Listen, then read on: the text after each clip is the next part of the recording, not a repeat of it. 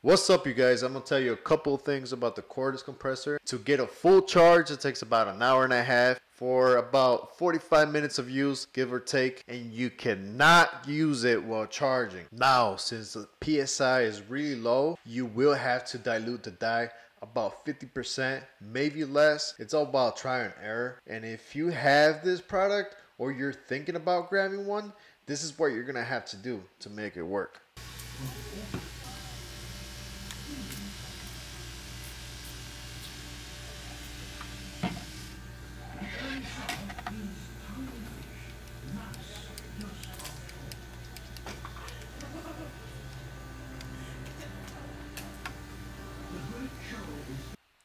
Yeah, Jesse, but where do I get the products from? You can go to jesseelite.com. You could also order the trigger gun, throw it on top of the cordless compressor, and just make it look super sick.